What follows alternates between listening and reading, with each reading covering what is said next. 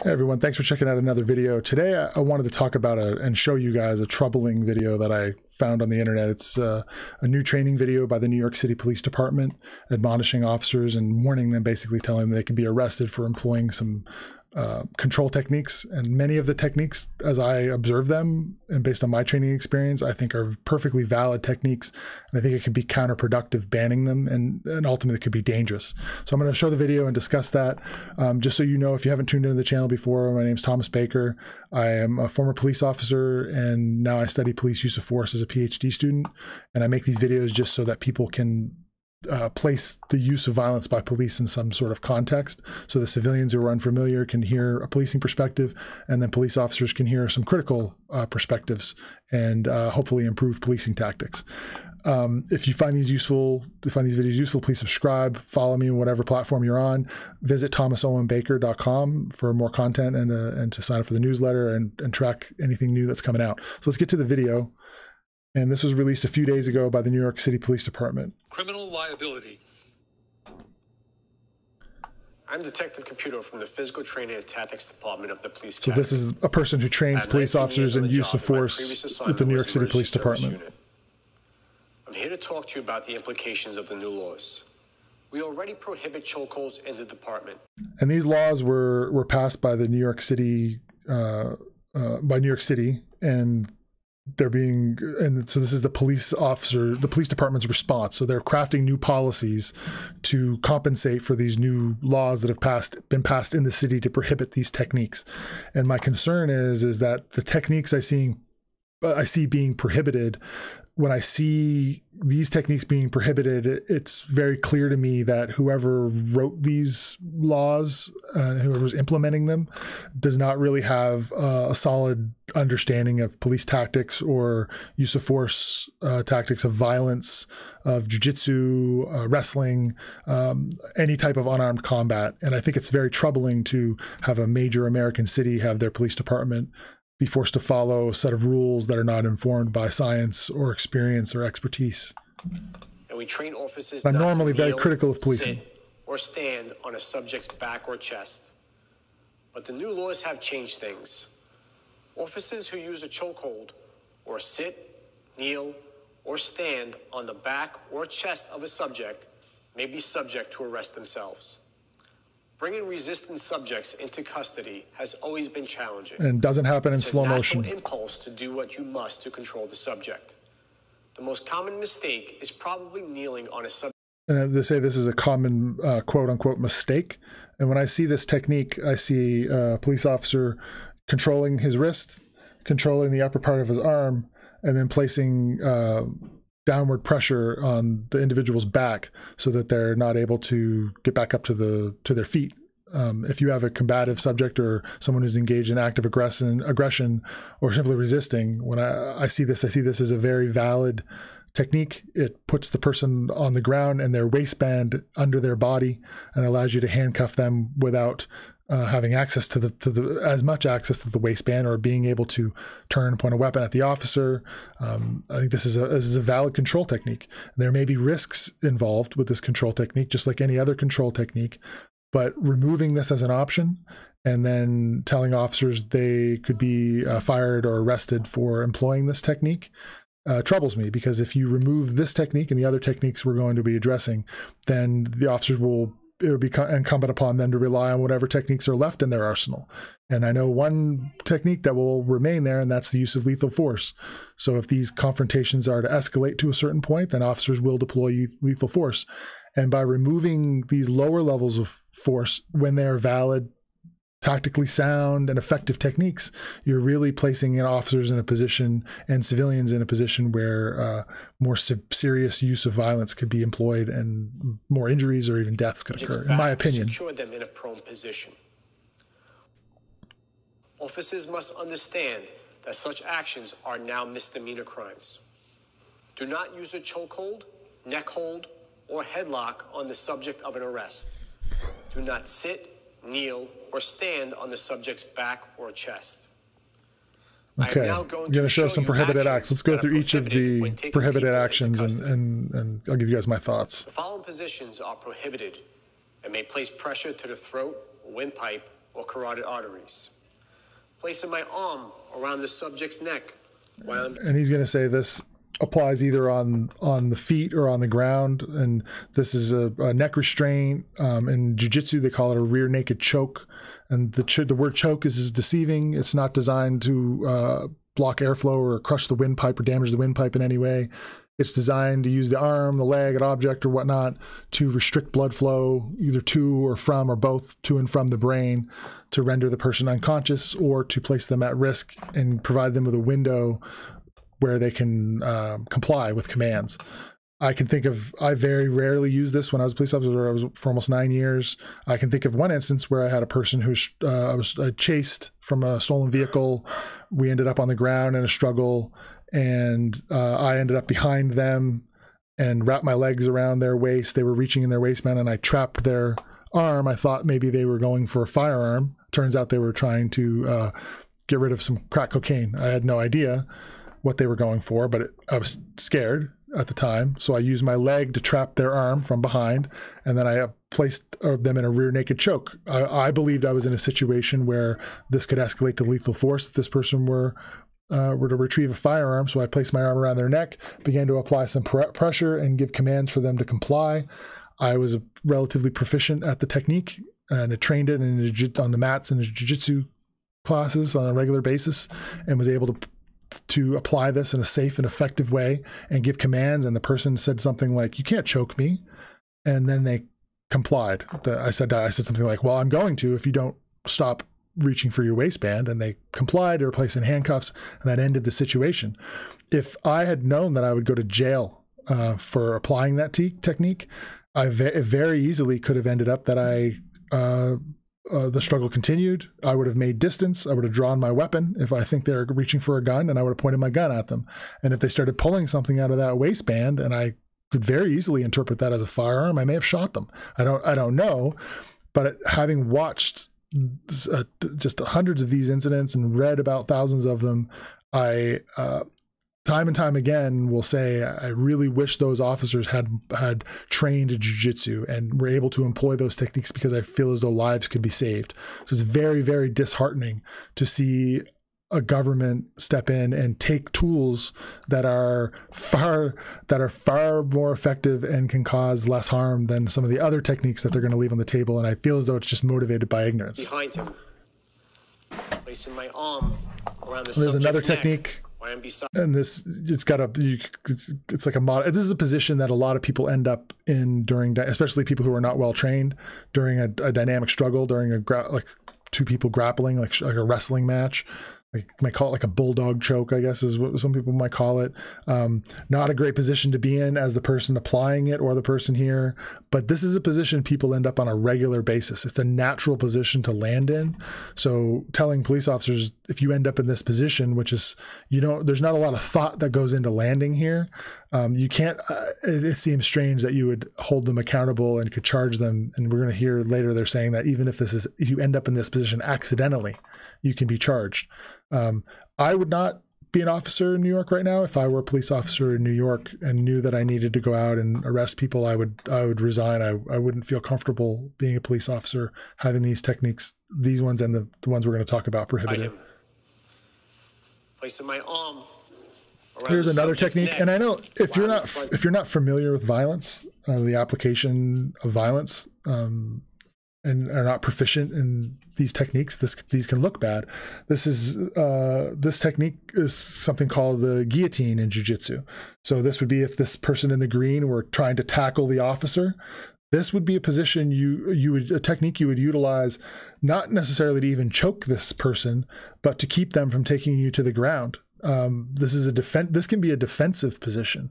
Um, it can also be offensive. Uh, if you're on your back as a police officer and this person's on top of you, this could be a valid technique. If someone's going for your gun, there's a whole bunch of situations where applying a guillotine is a is a valid technique. It's something that I've in practice applied hundreds of times. I've had people apply it on me hundreds of times without injury.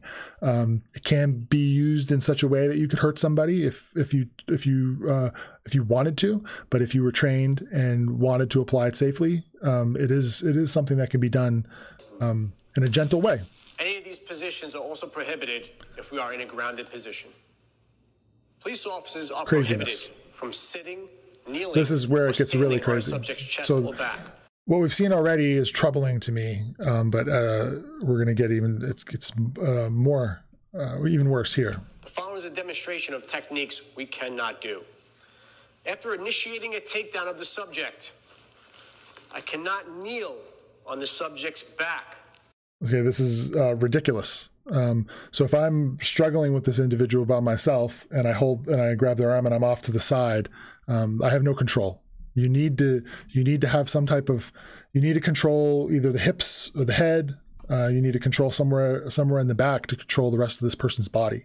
So just the this won't what they're describing. If you take away take away that knee, you can't control a person that way.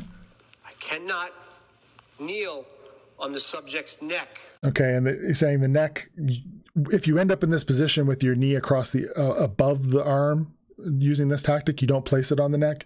You place it on the upper left. It would be on the upper left shoulder and across the upper back, not on the neck. That would be uh, uh, an improper application uh, on the neck. So you you don't need to be on the neck if your if your leg is on this side. You can apply downward pressure on the shoulder here, especially if you had another officer lower on the body trying to control the hips and the leg there are people who don't want to go to jail and they struggle violently and it's not easy to control a person especially if they're larger than you I cannot sit Okay. on the subject's back. this is um, if i were if i were saying what would be an optimal position the best position for an officer to be in so that they couldn't be injured and the subject wouldn't be injured during a fight then i, I can't think of a much better position to be in than this so you're you're the officer on back has his hips and the majority of his weight uh, on on the hips and and then on their knees and they can sit that weight down on this on this individual's hips keep them pinned to the ground. They can control they can work on controlling an arm. They can give commands. This uh, person on the ground can't access a weapon and turn around and shoot them. This is a safe position for this officer to compose themselves to come up with an arrest plan to get on the radio and ask for assistance. Um, to give the, the big thing is to talk and say hey you're not going to win. You're going to lose. You don't want more charges. Calm down and give the person time. There's this the the Gracie family uh, who runs a, a training for officers call it the 100 second rule, where you give this person 100 seconds to struggle to wear themselves out, and you break their will, and then you ask for compliance.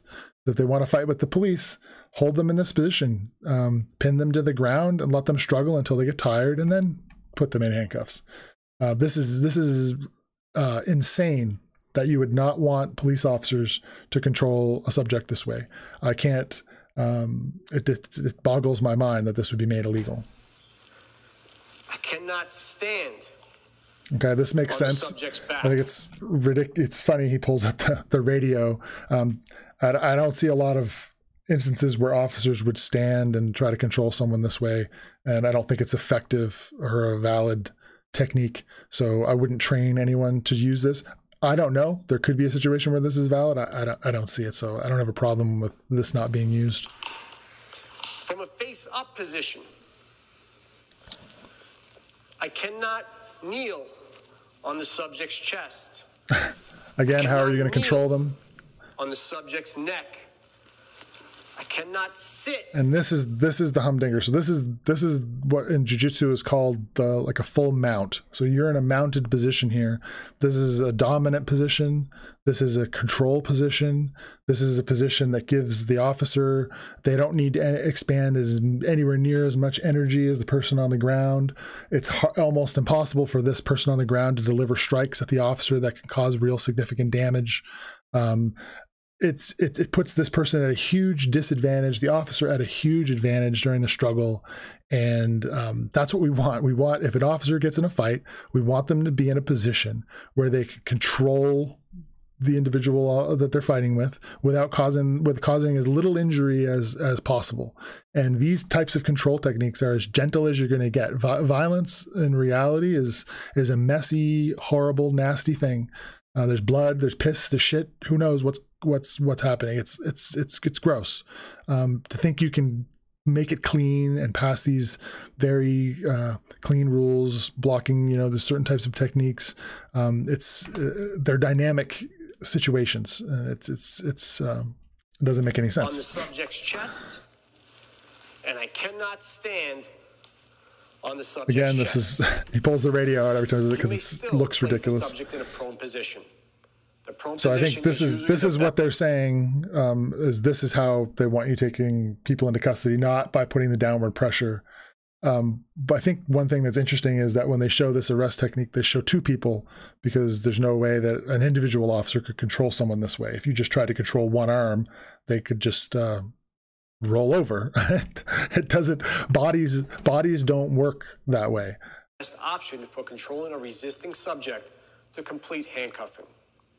Use armholes and other And you're still going to to need so if you if you apply this technique you're still going to need to apply some kind of downward pressure you're going to need somebody to get on this person's back and put put downward pressure one of the officers is going to need to put their knee across their their hips and push down to keep them pinned down while you apply the the, the handcuffing uh, the handcuffs just holding arms off to the side if it, there's a dedicated individual who wants to get away um, unless you have some really strong officers that have size advantage um, this is subject sloppy. cuffs are on.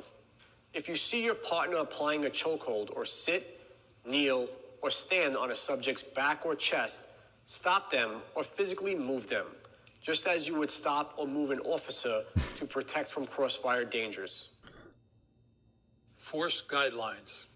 So they're saying that if an officer sees another officer uh, end up in one of those positions, that they should immediately go tell you know tell the officer to stop or push them off of the the suspect if if uh, if they need to. So what they're saying is is if a police officer got in a foot pursuit, they're struggling with someone on the ground, and they end up on top of that person, that the next officer should should like tackle the officer off the top of them. Um, it's it's um, if you're not, I mean, it is just so ludicrous that um, When using force, officers should apply no more than the reasonable force necessary to gain control Absolutely. of the subject. Contact with the subject's back or chest, besides sitting, kneeling, or standing, is still permissible and has not been criminalized. so you can put a hand on their Civil back. liability. In addition to criminal liability and use of force cases, recently passed laws allow people to sue officers for various police actions. Officers may not be indemnified if they perform actions that are contrary to law or department policy. So they're saying that if you're if you do something like this, you could be charged, and then you also be sued, and the department's not going to protect you or pay the fees. Right to record. Okay, and they go into some some other topics. They go into right to record, saying that officers can't restrict people from recording them while they're engaging in activities, whatnot. That seems very reasonable to me. This is a uh, if a citizen wants to record a police officers making an arrest, that that's their right. Um, but this is this is really troubling. So I think that I think this is like jump the shark. I think uh, is a is a good term to use, where reform is needed, but that reform needs to be um, informed with science and with uh, expertise in the field. And if you were to bring in anyone who has a re, you know a well trained person who understands unarmed combat, understands interpersonal violence when weapons aren't involved, and you had a conversation about how to control a subject, how to control someone using the the, re, the reasonable amount of force and only the force that is necessary. That some of those techniques would be techniques that would be at the top of the list of the most effective and least harmful. Uh, the mount, like. Uh, getting on top of someone and controlling them that way is is a very uh, gentle and peaceful way to control a, a violent person. Just for example, if I were if I were a police officer and I were responding to a mental health crisis, someone was a mental health crisis and they're assaulting people at a at a hospital or uh, an extended care facility or in, in their own home, and I thought, oh, this person's in crisis. They're not being violent because they're angry or because they're bad guy, but because they have a medical condition. And if that person were, say, a female who weighs 130 pounds, and I were the officer and I needed to control that person, and I wanted to keep them from being injured, which I would, I would, I wouldn't want them to be hurt. Um, and I and I needed to control them. I would want to get them to the ground. Um, would be one of the things I would want to do, and I'd want to ha- get them in handcuffs, but I'd want to gain a dominant position to handcuff them so that they didn't hurt me, they didn't hurt themselves, they didn't fall, bang their head. I didn't have to use force that wasn't necessary. So I would try to get them to the ground. I would try to gain a dominant position, ideally some sort of mount position where I had my hips on their hips, pinning them to the ground, and I was able to control their arms and get them in, into handcuffs and uh, and and end the confrontation with as little, as few injuries as possible. And this law, these policies, this training is uh, is uh, normally I don't I don't want to be hyperbolic, but this is this ridiculous. It's dangerous. If you um, if you know anything about policing, you recognize. This. If you know anything about use of force, you recognize this. If this bothers you, um, it should. Please uh, don't allow this to to be the norm in other jurisdictions across the country. If you see this this these types of rules being passed in your in your jurisdiction, think about it, investigate it, and maybe take action. Call your legislator because this is uh, this is dangerous, counterproductive, and could cost lives, both uh, police officer lives and civilian lives. We want our policing we want it to be a peaceful profession. It is for the most part, but sometimes violence is necessary. It is something that's used, and we should want our police officers to be proficient in the use of violence and have all the skills and training that's required to use as little violence is as reasonably necessary to effect an arrest. But taking away these tools, you're doing the exact opposite. So again, sorry for the long video. Sorry for the the polemics. But if you uh, if you like these videos, you find them useful, please subscribe, please follow me. Hit up the website thomasowenbaker.com, and thank you very much.